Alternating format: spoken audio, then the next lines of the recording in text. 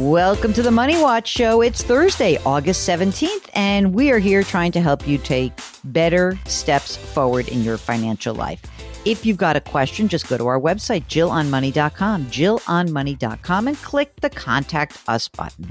While you're there, check out all the cool stuff that lives on that website. I've got a blog, and we've got videos up there, and there's resources, and you've got links to buy my book, The Great Money Reset, and a link to subscribe to our service, Jill on Money Live. That's where you have access to quarterly live webinars and lots of cool bonus content interviews with interesting journalists or just people that I think are neat and cool. And so check it out. Jill on Money Live costs a whopping 35 bucks and you get a full year ahead of you before Mark jams up the price.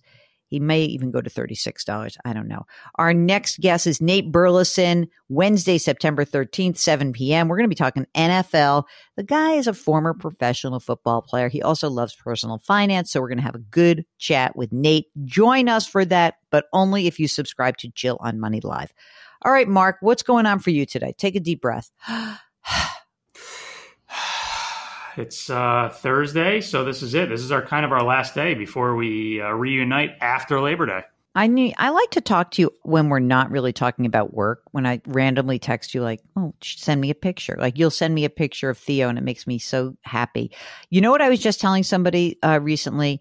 I I made the uh, the admission, and I said I want to be clear that I don't dislike children, but I really don't like looking at pictures of kids that I don't have a relationship with. So I think that I could look at probably a thousand pictures of Theo because I care about him and I know him. But people who show you random numbers of photos of their children or grandchildren or grandnieces and nephews, guys, nobody cares. Nobody cares about these kids. Just stop doing that. You know who cares. Other people don't care. I mean, I care about other people and I do care about like you know, like my nieces and nephews, and I got a lot of them, but I think it's funny.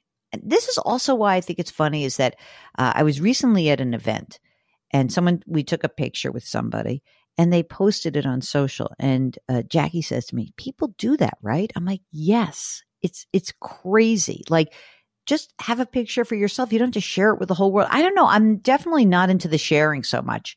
Mark, should we get off Twitter? I mean, X now, or do we have to stay on? I mean, you, well, you're off. Essentially, you're off. I mean, you're on, but you're never really on there. So I would just keep it as is. All right. I'll do whatever you tell me to do. I guess we don't have to do that other one, threads, which is fine with me. All right. Today, we're joined by Joey, who is on the line from Austin, Texas, where they've had a hot, hot, hot summer. Hello, Joey. How are you? Hi, Jill. I'm doing well. You staying cool? You better have good air conditioning if you live in Texas, right?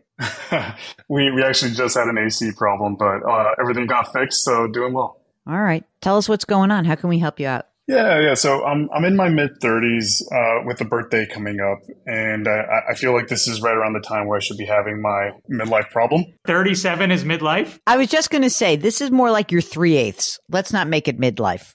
It'll be a longer life than that. When you say mid 30s, give us the actual number. What are you turning? Uh, I'll be turning 37. All right. So, what's the quintessential midlife crisis, you think? I've been lucky enough to, to get some money um, from hard work uh, in a great company.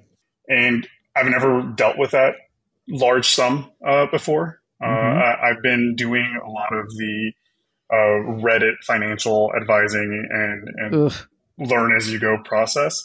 So I, I, had a couple of questions really around that piece in terms of a how do I uh, go about finding a financial advisor or planner? Like, yes, I know fiduciary, etc., but I don't think we ever really talk about how much we should be paying for those mm-hmm. services. Yes, um, who we should be looking for in, in that. And then the second piece, which is I think a little bit more awkward, is I say awkward because I'm not sure people think about this in midlife crisis, but taking care of my uh, family. So my mother and my father are getting older. My parents, uh, in-laws, uh, also getting older, uh, and I know that that is something that I want to plan for and something mm-hmm. that I mm-hmm. want to people that I want to take care of. Okay, that's very nice. I love that. You're very responsible. How old is your wife? Uh, 33. Okay. And how old are your parents? Uh, they're in their late 60s, so 67, 68. Oh my God, they're so young. And what about the in laws? Uh, younger, younger still. So uh, mid to late fifties. Oh my God, you're ready. I, I only wish that some of my nieces and nephews are worried about taking care of me in my mid to late 50s. Okay. Um, let's talk about the moolah that you've accumulated.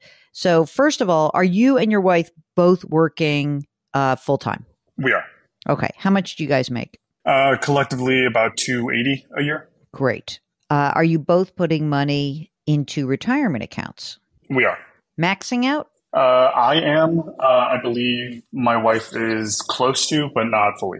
How much money have you saved so far? Give us a little bit of the breakdown. Uh, I have uh, 25 right now in liquid with another 30 in a CD.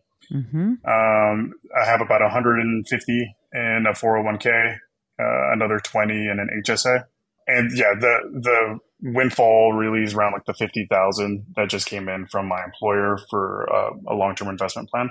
So wait, the 50 is separate than what you've already recounted to me, yes? Correct. Okay, Correct. so 50 is the windfall. All right, what about your wife? I, I don't have most of those numbers. Give me a Uh, guess. Do uh, probably uh, more in savings, uh, less in her 401. Okay, but like a couple hundred grand? Yeah, Okay, good. And what about a house? Do you guys own one or are you renting? uh, own. How much is your house worth? In the middle of the pandemic, uh, numbers were kind of crazy. Mhm. Uh, as I would probably say anywhere from 600 to 700 right now. Do you have a mortgage? Uh, yes. What's the outstanding mortgage amount? Uh, roughly 380, What's the interest rate? 2.5. Not moving. And um, do you guys have kids? We don't. Planning? We're, we're having conversations. Mark and I would be happy to decide on this for you. Do you want We'd to love it too. If you could do it right now, it'd be That's great. fine. Let's just, Mark, 33, healthy girl. Let's get her pregnant right now. What do you think? I, I, I can endorse one child for sure. Beyond that, I can't speak to. One with an option to get another. Um, all right. So, Joey, are you guys going to continue to make about this much money? Do you have a big trajectory higher? Do you think? What, what's your guess?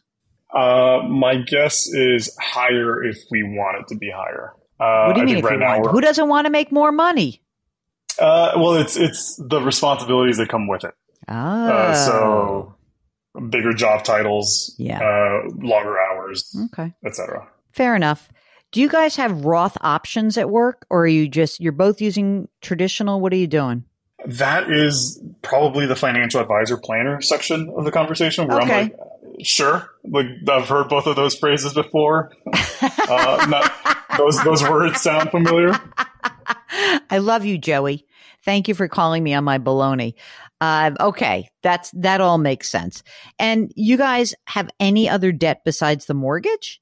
Yeah, so we have about 20k left on our car loan, um, but that should be probably paid off within the next year or two. What's the wait a second? What's the interest rate on the car loan? I think uh, five or six Anything else besides the car loan? uh, student loans. How much? That's that's the big one. So Yeah. we we both met in grad school. I have roughly 75, Mhm. uh, and I think my wife has roughly 65 to 60. Do you know how much the interest rate is on those loans?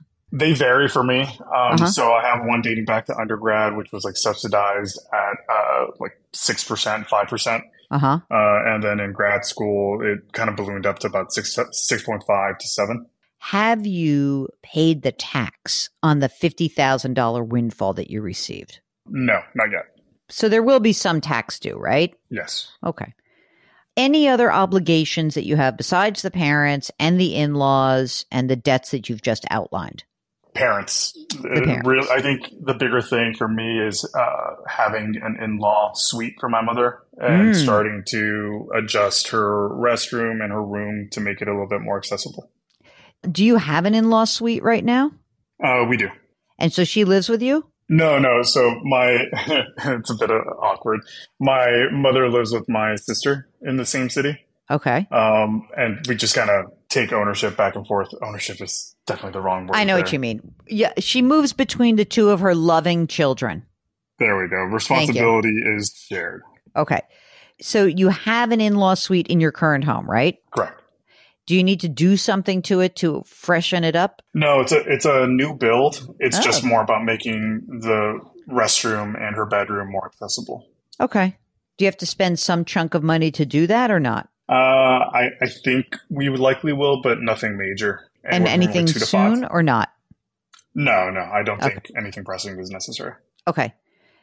Is there anything else that we should know about? No, uh, I think that's it. Oh, well, I'm sorry. One more question. Joey, every single month you put money into your retirement accounts. Do you have extra money on a monthly basis or is it sort of ad hoc? Sometimes you do, sometimes you don't. Uh, definitely ad hoc. Usually, whenever we get paid uh, our bonuses, is when I'll throw a little bit more in. Okay, got it. Mark, we have a $50,000 windfall. Okay we're looking at a balance sheet that needs some attention. And here's what I mean by that, Joey. With the first, you know, moments where we were going through all the money, I was very excited. And then we got to the car loan and the student loans and the interest rates associated with that. So, Mark, what should the windfall be applied to once we pay the tax on it or set aside the tax money for it? I think they're doing what they need to be doing. Aside from this, they're, they're you know they're both contributing to their retirement plans at work, which is great. So that's good. We just got to get rid of the student loans first and foremost. I think I, I wouldn't be too concerned. I mean, yeah, the car loan, but it's going to take care of itself. He said it's going to be gone in a year or so, so I'm not too concerned about that. I think student loans, but they're not going to be able. to, Obviously, they're not going to get rid of all of it. No, but it's interesting. You said six and a half to seven percent. There, there's some chunk that's six and a half to seven percent, right? Correct. So I'm thinking, unless there's some, I mean, the liquidity you have $25,000 liquid, 30,000 in a CD, and then this windfall on top of it. Keep a little, I don't know, throw five grand into your liquid savings just so you have some extra money to pay the tax that's due on that windfall. I think we should be looking at that windfall as a way to reduce the student loans. Anything above six and a half percent is what I would pay off you know, if you've got way more than the windfall will cover, it won't matter. It'll just put a big, it'll really knock that down in a much more just I think it'll be easier for you to absorb the new payment. So your your October 1st is when we're restarting. So I might use that windfall sooner rather than later like in September to knock it all down and then they can maybe you can see where you stand. You're going to have to budget in the fact that these student loans are starting up again. It's going to get tight for you guys. Now, let's talk about a financial advisor. Right now, for you guys, you have most of your money in retirement accounts, right?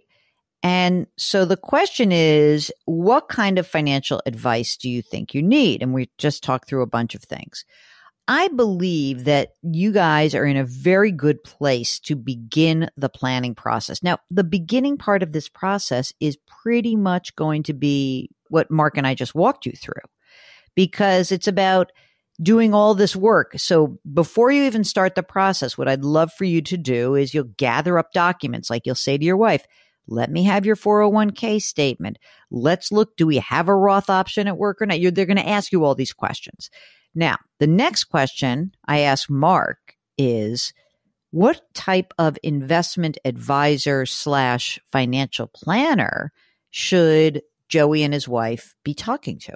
I mean, I don't know. I don't know what his comfort level is in doing this. I mean, most like you just said, almost all their investment investment direction right now is through work. I don't know if it's worth going out and hiring a financial advisor to tell you what to invest in through your 401k. I mean, you know we can we can even help you with that. Or a lot of times these workplace plans provide access to people who can point you in the right direction. That's the other thing i would find out. Like do you work for a big company joey? I do. Who's the plan through? Uh, fidelity. Okay. So here's what i think you might want to think about doing. You work for a big company that has lots of benefits you should check to see whether they have any planning benefits that are available to you. You may or you may not. The thing that's weird is it's going to be very difficult for you to plan to take care of your parents and your in laws as you are also paying down your student loans. So, what I think is going to ultimately be your course of action, it may be that you don't need a financial plan. It may be that you just want to, you know, and you and your wife should be doing this, you know, in tandem, right? You can't have such separate lives. You got to know what's going on for one another. That you are going to have to have a game plan where you say, all right, the student loans right now we have, you know, well, 140. Let's say that we pay down let's say you end up with like a $110,000 of student loans. So the first thing that's going to happen is that any extra money that you have, that one to 1000 2000 a month or whenever you get a bonus you're going to pay down big chunks of your student loans because six six and a half seven percent interest is a lot. And so you're going to want to focus on paying those down. Mark's right the car loan will get paid down also but all of your free cash flow right now should be paying down debt. And you kind of are in this position where once you pay that down again maybe you get another $50000 windfall in two years who knows? But all that extra cash flow, once it gets paid down, is going to have to go someplace where it's accessible to you. It cannot be only in retirement accounts. So once we get the debt paid down, the next level is you're going to create a brokerage account and you can do, you can open up a brokerage account wherever you want, you know, since you're since your retirement plan is at Fidelity through work, maybe you do it at Fidelity. Maybe you use Fidelity to help you with your financial planning, or maybe you get some sort of advisory service that's kind of a cheaper service than getting a full time financial planner. The thing that's weird about you, Joey, is that you make a lot of money, you have a bunch of money, but because all that money is in retirement accounts, no financial planner is going to be like, yeah, you can pay me to manage that because they can't really get paid to do it. So that leaves you with, well, then I have to pay someone to just do a financial plan for me, which you could do, but it's going to cost you a couple thousand dollars. And that plan may be exactly what we just told you to do. I think that you should check out your plan through work and see if there's there's any way to get some financial advice there. But I got to tell you something. You may be having a three eighths life financial. Uh, I'm sorry. You may be having a three eighths life midlife crisis. you know, but you're not in crisis. You're in great shape. We have to knock down these student loans we have to knock down the car loan. And then you're going to start using all the money that you've been putting towards that debt. You're going to be putting that money into a brokerage account to help your parents and your in laws. That's how this is going to go down. And you can pay someone a bunch of money to do that, but I can almost guarantee that fact. Now, one other question. Do you guys have your estate documents done? Do you have life insurance? Have you done any of that end of life planning? We have, we both have life insurance. Um, in terms of the actual documentation, we don't have that. You got to do that. That you have to do. And most of your stuff is going to pass by contract and you're married, so it's not that big a deal. But I think you should do that. And when your parents are moving in, like if your mom is moving to you, does your mom, do your in laws, do they have their stuff buckled up? Uh, definitely not we, we come from very humble beginnings, so uh, this this definitely isn't part of our like family understanding or knowledge that's passed down. The reason why I say that is that if I look at like your parents, they're in their late sixties. They're between you and your sister, but you know when they're traveling and they're doing stuff like if something bad happened to your mother or father, like there has to be a document in place for them. And that's not about like, oh, I'm passing along my my vast fortunes. More like, hey, what do you want? You have to have the conversation. It's very hard to have that conversation. But you know, you have to have the conversation because it's scary, but it's worse if there's nothing in place. Absolutely. I get that you want to be responsible. I get that you want to make sure you're taking care, but you're going to have to take care of this debt first. There's nothing Absolutely. to do besides paying down that debt that's more important again, do you think that there is a, a possibility that there is another windfall in your future? Yeah, yeah. So, um, as part of our company, we have bonuses, merit increases. Uh, I was recently promoted, so that the funds are, are going to be there. It's more mm-hmm. about the long term investment. So, mm-hmm. we have RSUs um, that will likely uh, help out. So, definitely think we can take larger chunks out. If you have an opportunity, if you got you know, um, these share plans and they become vested and you can sell it, you pay the tax. And the first thing you should think of is, all right, have I paid down all this debt? As soon as that question is answered, if the answer is yes, I think that's when you might want to start thinking about, well, what's next? You know? And I think that if you had somebody in your life doing this kind of work with you, they would basically say, all right, well, the next thing is that, you know, we're putting a lot of money into your retirement accounts. That's great. The next step is a brokerage account because the brokerage account is money that will be available to help with your parents and your in laws. And that's the reason why. but the debt is really first. This is not cheap debt. This is the real deal. So we got to get rid of that. And we have to make sure that you guys are still contributing to retirement while you're paying down your debt. And then it's the parents. And then they come next. But I think that given what you've told us, I feel much better about the debt because I think you're going to get a chance to really get rid of it in the next, uh, I don't know, few years probably. I think so. Yeah. Um, that's the plan, at least. If anybody else has a question around priorities, whether it's debt, whether it's helping your parents out, this is a very common issue that all of us are confronting. It is how do we juggle our current financial situation with obligations. It could be your kids, it could be your aging parents, it could be siblings. And, you know, I was just talking recently with somebody who is doing this with an adult child who is just not quite on her feet yet. And so there is some balancing of making choices around, you know, which, you know, which of your kids needs, is going to need help when you have these conversations about estate planning. So all of these are things that Mark and I are very well versed in. If you have a question, just go to jillonmoney.com, click the contact us button, and we will get your note. If you'd like to come on the air, just check that box. And uh, everything lives on our website. All of our content is right there at jillonmoney.com. You should check it out. Mark Talercio is the co host and executive producer, as well as the Web King. We are distributed by Paramount Global. We drop our episodes every Tuesday and Thursday. Don't forget to leave us a rating and review wherever you listen. Lift someone up. Change your work, change your wealth, change your life. Thanks for listening. We'll talk to you next week.